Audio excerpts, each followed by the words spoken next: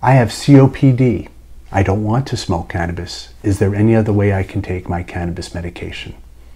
Hi everyone, I'm Dr. Dan Stein, Neurology of Cannabis owner and board certified neurologist, and I'm going to address that common concern today.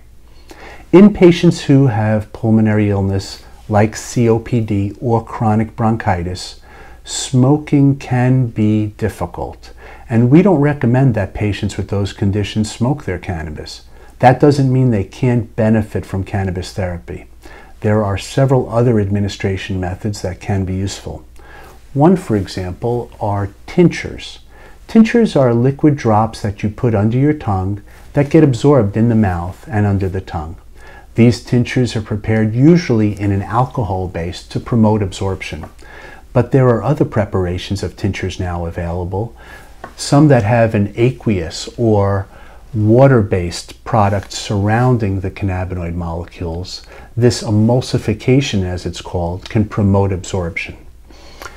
The bottom line is that liquid drops that are prepared by a regulated grower can be used to promote ingestion of the cannabis therapy in a safe way for patients with pulmonary disease.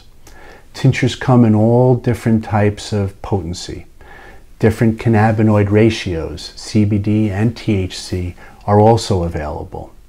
And as I noted, tinctures that are absorbed in a water molecule can sometimes take effect much faster than the oil-based or alcohol-based tinctures. So when it comes to choosing your cannabis medicine, if you have pulmonary disorder, fret not. There are other options available tinctures just being one of them. You may have your own questions or concerns about cannabis therapy, and we are here to address those. So please feel free to call 941-400-1211 or email info at neurologyofcannabis.com. That's our video for today. Thanks for watching.